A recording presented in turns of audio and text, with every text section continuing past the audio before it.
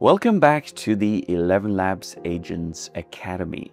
In the previous videos, you've learned how to configure your very first ElevenLabs agent and subsequently take it and bring it into your own website using the ElevenLabs agent widget. So this is where we are. We now have our widget. Now, in some scenarios, you might want to, you know, fully customize this experience for your customers.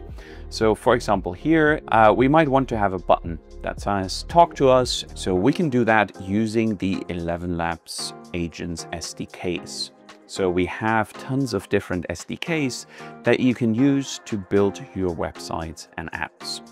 So for example, if you're building pure JavaScript applications, you can simply use the ElevenLabs client um, to start your sessions with um, the ElevenLabs agent.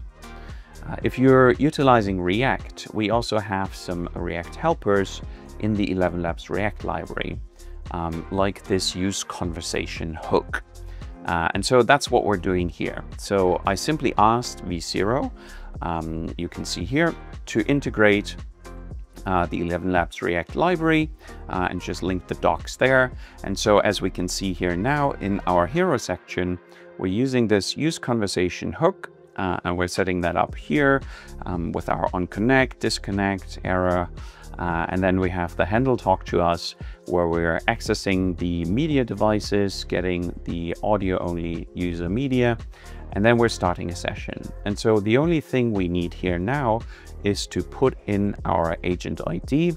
Uh, and we can see here that we'll use WebRTC for the connection from ElevenLabs directly to um, our user's browser. So that is kind of the web real-time uh, connection protocol that we're utilizing here, which gives us built-in benefits like packet loss management, echo cancellation, um, kind of voice isolation. So um, that is a really good protocol to use here. And so now the only thing we need to do is we need to go back and we need to copy out our agent ID.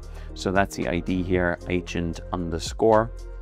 And so we can go back uh, into our application uh, and we can simply paste in our agent ID here, give that a save. And so now if we go back to our application and we hit the talk to us, you can see we'll be prompted to allow access to the microphone. Hi there, I can help you track your order or answer questions you might have. Um, how many orders do I have? To find your order information, I'll need a little more information. Could you please provide your order number or the email address or phone?